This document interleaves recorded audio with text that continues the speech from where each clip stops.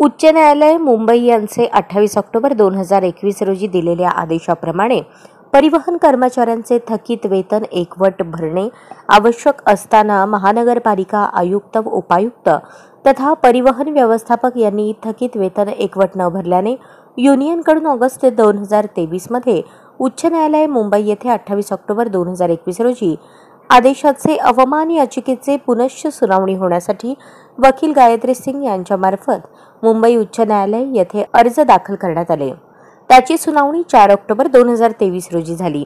सुनावणी दरम्यान महापालिकेचे वकील खैरदी यांनी आठ ते दहा दिवसात परिवहन कामगारांचे थकीत वेतन भरण्यात येईल असे आश्वासित केले.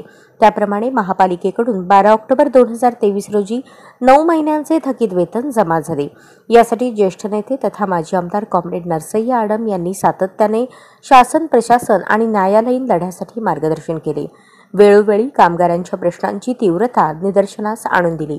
म्हणून प्रदीर्घ न्यायालयीन लढ्याला अखेर यश मिळाल्याने युनियनच्या वतीने ज्येष्ठ नेते तथा माजी आमदार कॉम्रेड नरसय्या आडम मास्टर यांच्या प्रती कृतज्ञता व्यक्त करण्यासाठी दत्तनगर सिटू कार्यालय येथे यथोचित सत्कार पंधरा ऑक्टोबर दोन हजार तेवीस रोजी करण्यात आला. यावेळी कृतज्ञता प्रती आभार व्यक्त करताना कॉम्रेड आडम मास्टर म्हणाले की काही करा आमची बाजू त्या ठिकाणी मांडा असं तर मी म्हणलं याला गरमागरमी कशी येईल?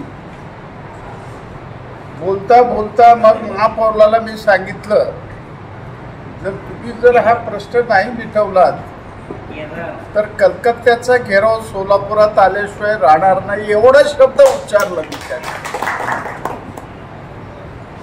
अर्धा तास गोंधळला. इतका गोंधळ झाला.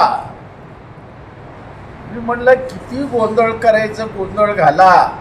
ते कामगार जर इथं येऊन घुसलं तर तुमची परिस्थिती वाईट होईल.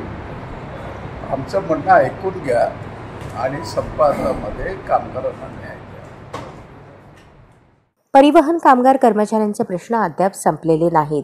प्रशासनाच्या भोंगाळ आणि ढिसाळ कारभारामुळे दगावलेले एकोणपन्नास परिवहन मयत कर्मचाऱ्यांच्या कुटुंबियांना न्याय मिळाला पाहिजे. सातव्या वेतन आयोगाप्रमाणे वेतन मिळाले पाहिजे. निवृत्त कर्मचाऱ्यांना सेवानिवृत्ती वेतन मिळाले पाहिजे. फरकासहित थकीत देय रकमा मिळाल्या पाहिजेत यासाठी पुन्हा एकदा लढ्याच्या मैदानात उतरणार असून परिवहन कर्मचाऱ्यांनी आपली एकजूट कायम ठेवावी व आपला लढा यशस्वी होण्यासाठी युनियनची ताकद बळकट करावी अशा शब्दात निर्धार व्यक्त केला. यावेळी युनियनचे नेते सिद्धप्पा कलशेट्टी तौफिक शेख यांचाही सत्कार करण्यात आला.